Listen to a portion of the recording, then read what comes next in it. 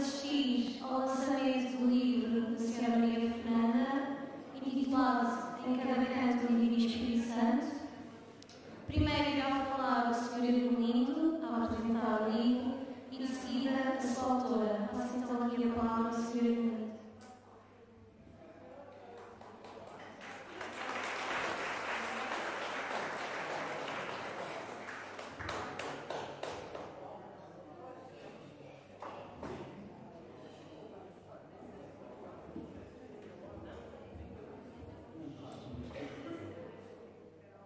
Dona Maria Fernanda Souza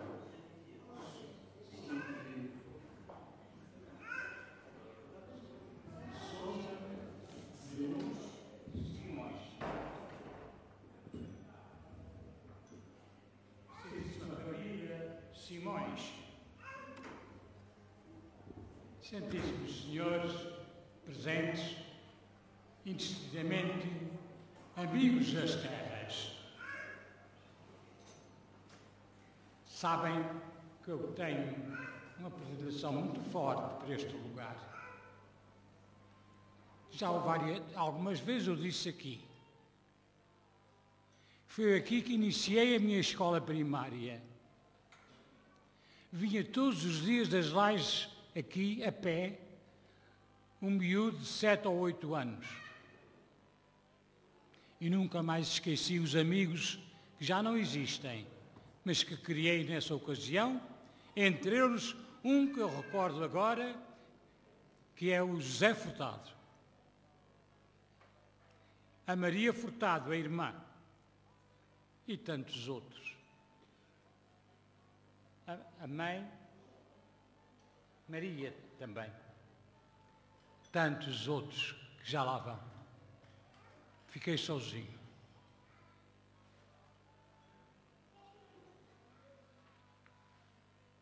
Bom, vamos cumprir a incumbência que recebi da autora deste livro, que é a Maria Fernanda Simões, uma senhora que nos Estados Unidos se tem distinguido entre vários sectores da sociedade.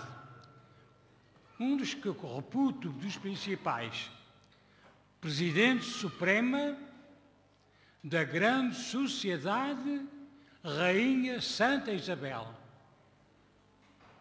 Não é qualquer uma senhora na América que ascenda a este posto.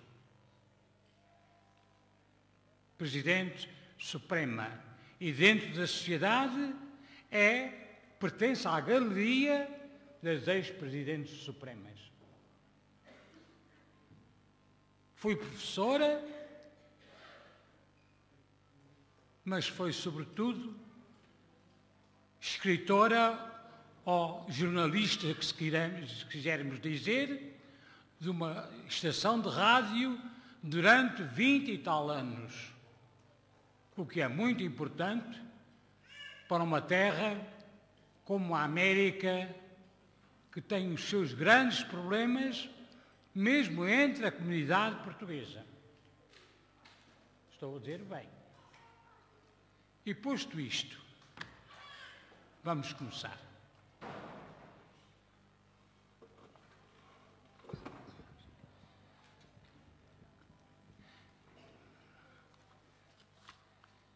Não é a primeira vez que me encontro neste lugar em missão idêntica. Julgava que já andava esquecido destas andanças, mas a velha amiga, Dona Maria Fernanda Simões, quis ter a lembrança que aqui de aqui me trazer para apresentar aos seus conterrâneos o seu quarto livro. Faço-o com prazer, embora, como disse, já aqui tenha estado das anteriores vezes. E por isso deixo a pergunta: que poderei dizer deste novo trabalho da escritora? Ele vem no seguimento dos anteriores livros. Fala das terras e das suas gentes. A boa gente das terras, como me habituei a ouvir entre os meus. Em 2005, a autora publicou nos Estados Unidos o livro de crónicas e poesias Os Meses das Nossas Raízes, que aqui foi lançado. Nele pode ler-se com algum enlevo Minha casa pequenina e as do senhorio para ganharem uns magros vinténs, hoje seriam cêntimos, que ajudavam a fazer face às despesas caseiras. Ah, perdão. Minha casa pequenina, que, que tanta história encerra, dos meus tempos de criança que não me saem da lembrança. Histórias tão lindas e ricas, das noites ao serão, nesta casa da tia Maricas. Mas vamos, porém, ao que nos diz a autora em nota explicativa deste seu primeiro livro a que venho de referir-me. Alude à palavra saudade, essa palavra misteriosa que faz doer, por vezes. Saudades dos amigos, das famílias ou até das próprias pedras negras da ilha. Quem um dia experimentou a amargura que a saudade nos traz, pode valorizar o que escreveu com uma sinceridade tamanha a Dona Maria Fernandes. E já agora, uma referência ligeira ao segundo livro, editado também nos Estados Unidos, em 2008 é dedicado às lavadeiras das terras e do arrifo. Dessas mulheres que iam para as ribeiras lavar as suas roupas e as do senhorio para ganharem uns magros vinténs, hoje seriam cêntimos, que ajudavam a fazer face às despesas caseiras as lavadeiras, suas lidas e maluqueiras. Um livro cheio de histórias, de contos e de lendas, à mistura com poesia popular, tanto ao gosto das nossas gentes. Hoje não existem as lavadeiras das ribeiras. No entanto, as águas puras e cristalinas lá estão na ribeira. Não cheiram mais a sabão, são apenas espelhos das colinas. Não sabem segredos da lavadeira, nem das paixões do seu coração. Saudades dos tempos que já lá vão. É o seu terceiro livro com cerca de, de três dezenas de histórias sobre a cultura e a apanha dos trigos, coisa que hoje mal se conhece. Daí o valor subestimado deste livro, que recorda um tempo de vivências simples, mas belas, que ficaram na saudade de quem as conheceu ou nelas tomou parte. A própria autora escreve no início desta sua obra. Nesta pequena publicação, é minha intenção preservar a memória da história do trigo nas debulhas, nas eiras, nos moinhos e nas atafonas. Gostaria de vos contar, usando as memórias da minha própria experiência, histórias vividas e contadas pelos meus antepassados avós e bisavós, ou no meu querido lugar das terras, que contém 50 fogos, um subúrbio das Lais do Pico. Searas são ofertas de senhoras e senhores. São preciosidades de ouvir para alimento do seu povo. Searas são campos dourados que valorizam os nossos prados e por isso a Deus eu louvo. No prefácio de Saudades dos Tempos que já lá vão, escreve o professor Dr. Diniz Borges de Tolar, Califórnia, que bem se pode aplicar a este livro de hoje, aqui apresentado. Ao longo da sua vida, Maria Fernandes Simões, diz o doutor, o doutor Diniz, tem aplicado longas horas às artes. É autora dos livros, hoje já são quatro.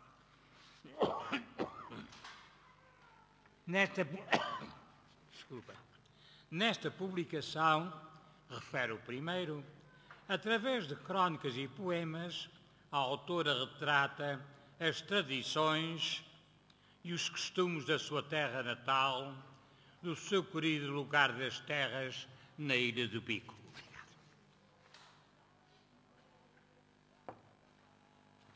No ano 2008, Maria Fernanda Simões publica o segundo livro, ao qual dá o título As Lavadeiras, Suas Lidas e Maluqueiras. Mais uma vez, mais uma vez a autora vai ao baú das suas recordações e relata, em crónica e poesia, uma amálgama de histórias de mulheres que arduamente trabalhavam na lavagem da roupa. É um retrato de um tempo em que a dureza da vida era polvilhada por pequenos, mas extra, extraordinariamente memoráveis momentos de alegria e de verdadeira convivência comunitária. Citei. Mas importa recordar aqui, e neste momento, o que o Dr. Diniz Borges, ao iniciar do prefácio, refere, ainda escreve ainda. Temos nas pinturas de Maria Fernanda Simões, porque Maria Fernanda Simões também é pintora,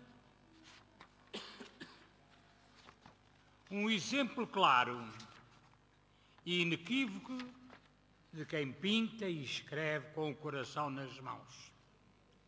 De quem, através da arte, quer na pintura, quer nas suas crónicas, quer na poesia, assim como no seu serviço à comunidade, expressa uma profunda saudade pela sua terra de origem, à qual é vivida em perfeita a qual é vivida em perfeita harmonia com as suas vivências norte-americanas.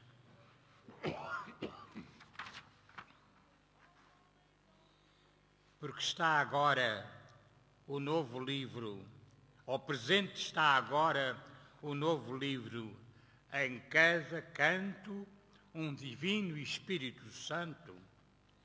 É, como disse, o quarto livro da, da professora Dona Maria Fernanda de Souza Simões.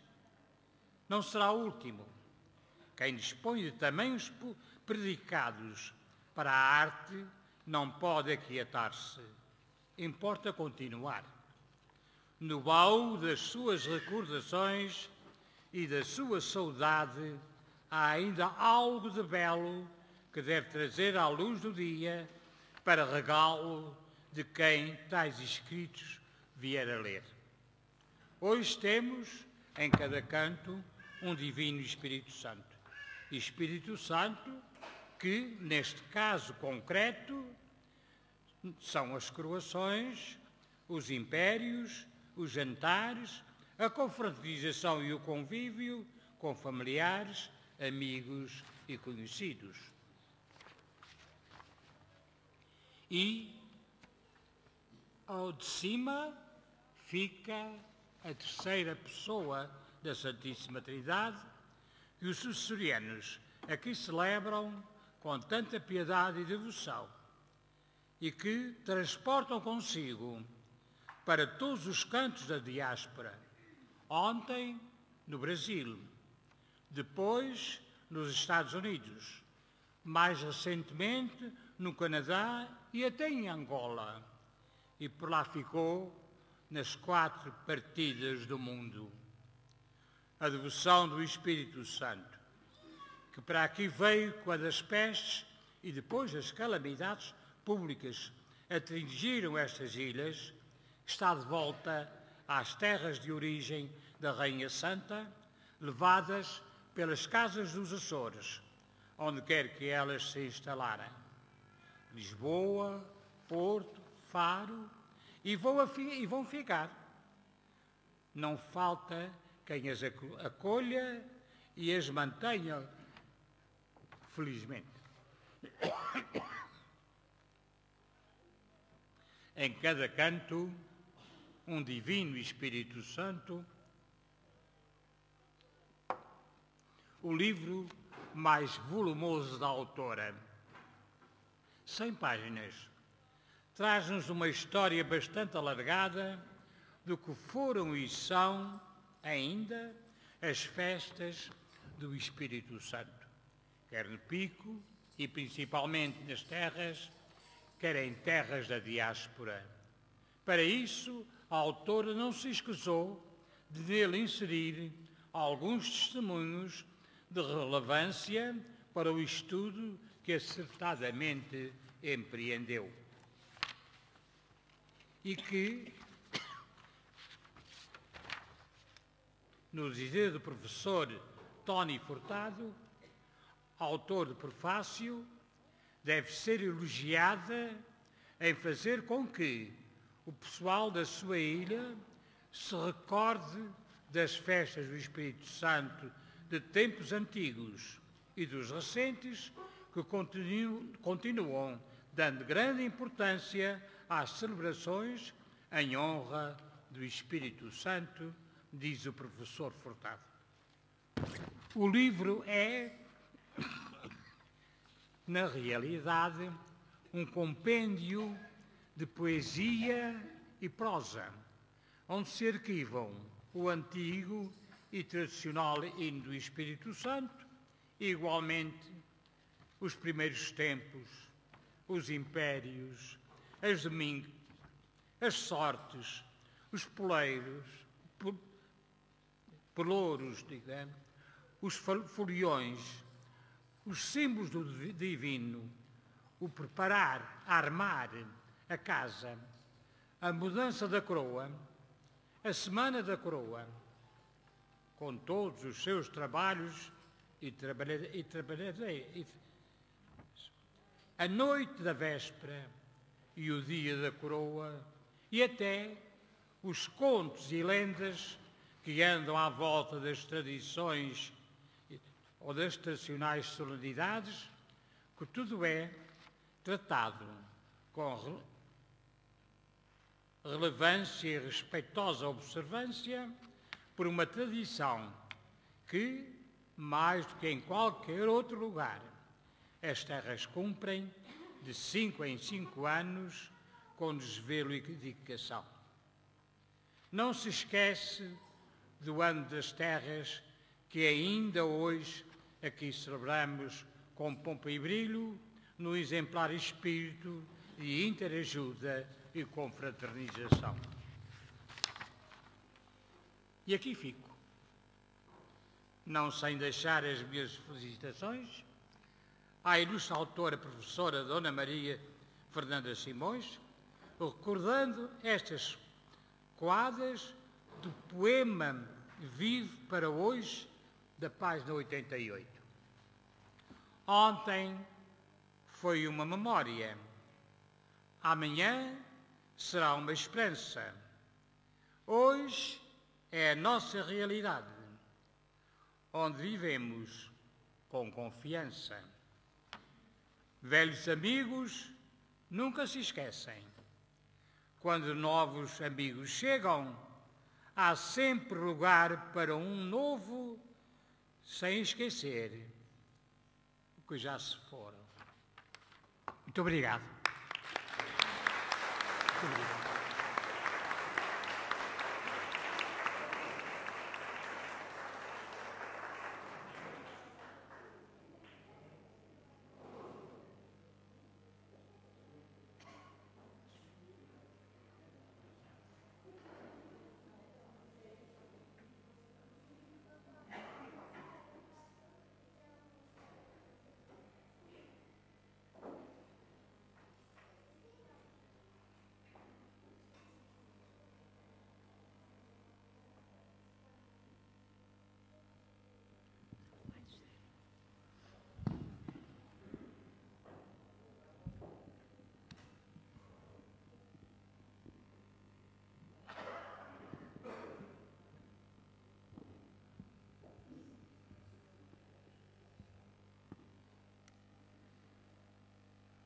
Muito boa noite a todos.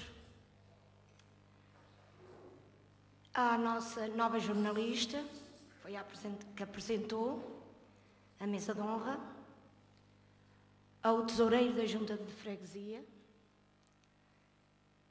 ao presidente aqui do nosso salão e também ao amigo, não sei que eu posso chamar mais, porque é amigo de coração, Senhor Irmelindo Ávila, que acabou de pronunciar um lindo discurso, penso que não sou digna dele, peço-lhe uma grande salva de palmas.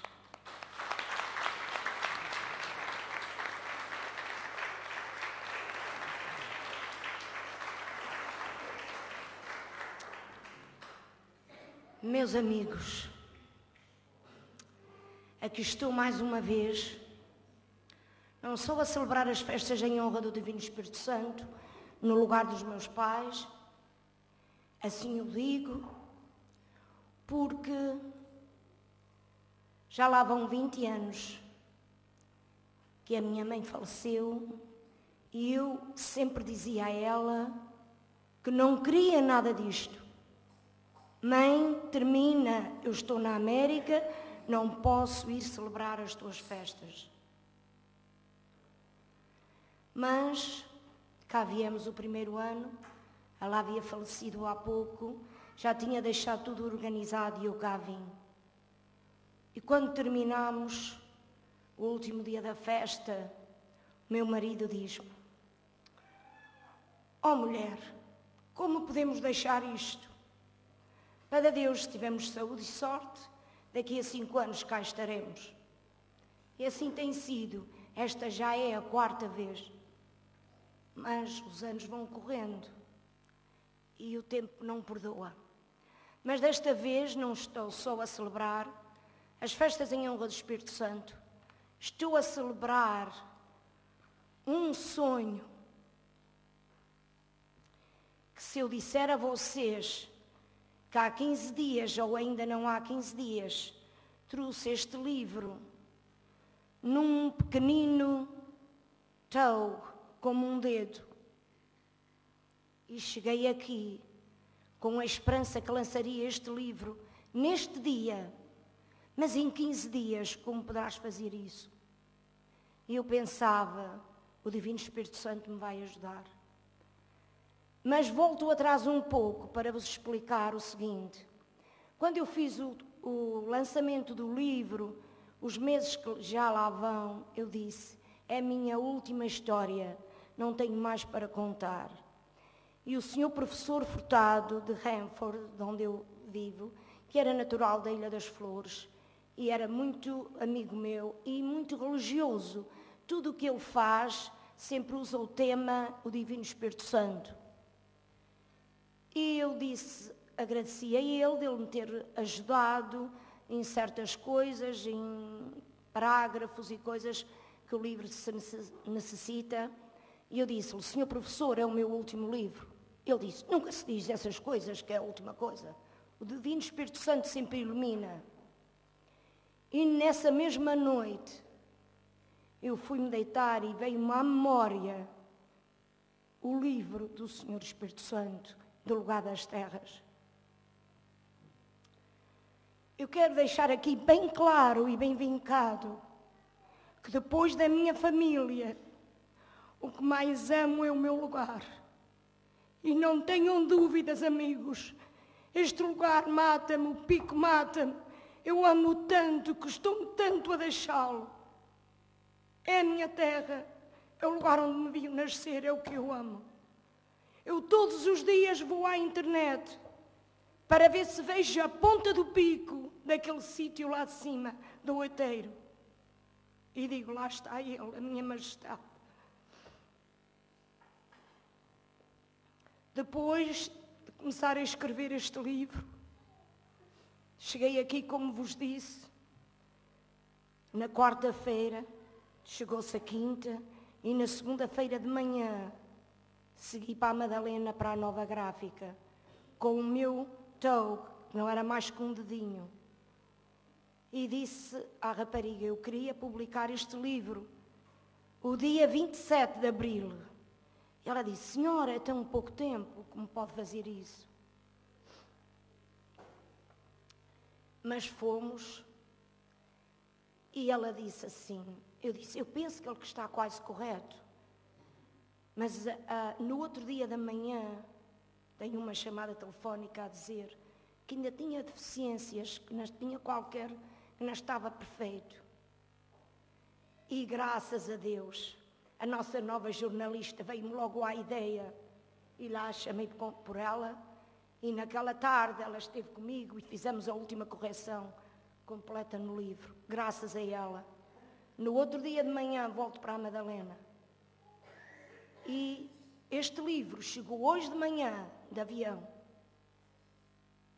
Eu fui buscá-lo ao aeroporto, eram 10 horas.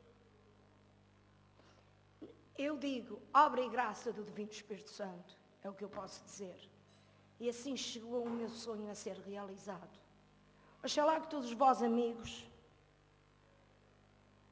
gostem das minhas pequenas histórias. Algumas talvez pensem que é um exagero, mas foram histórias que eu fui criada com os meus bisavós, porque ainda tive a graça de conhecer dois bisavós.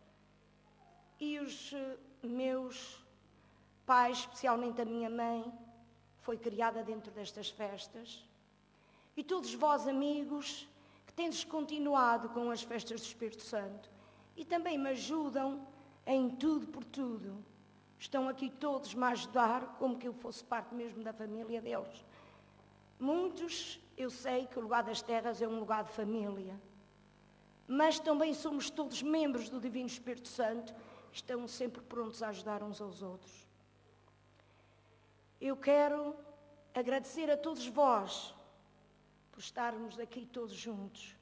E neste momento que estou muito emocionada, mas também muito cheia de alegria, porque um dia que eu me vá e fica algo escrito que digam, olha, o povo das terras não é esquecido, porque em anos passados talvez fomos esquecidos, talvez, e por que não, de certeza, mas eu deixo assim a dúvida e quero que saibam quanto nós lutamos, mas nesta solidariedade que une o povo das terras. Obrigado, amigos, e do fundo do coração eu quero-vos muito.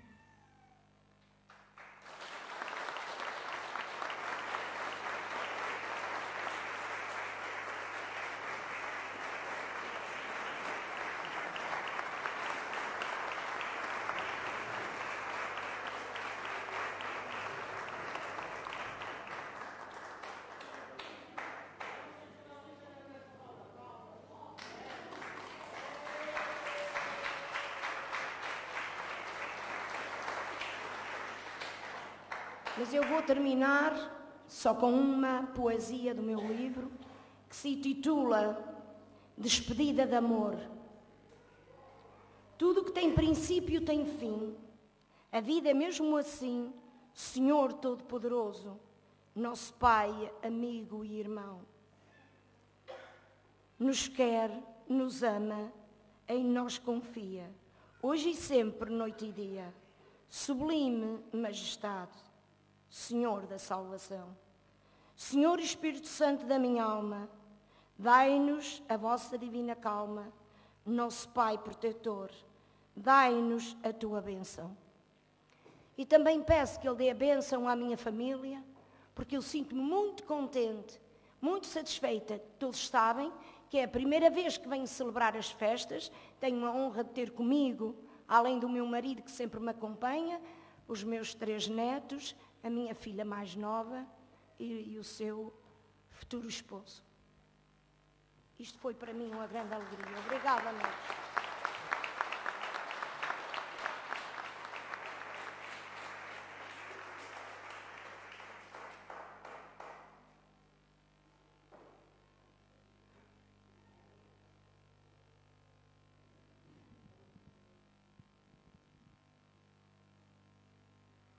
Antes de encerrar esta sessão, gostaria também de deixar umas palavras à Senhora Maria Fernanda.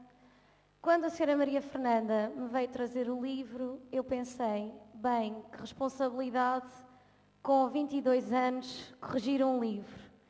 E eu queria dizer que eu acho muito importante este, este trabalho que a Senhora Maria Fernanda tem feito, porque traz a uma geração, como por exemplo a minha, uma tradição de há muitos, muitos anos deste lugar e que há coisas do livro eu pessoalmente sabia algumas, mas a maior parte delas não tinha conhecimento e que acho que é importante porque a tradição é a alma de um povo.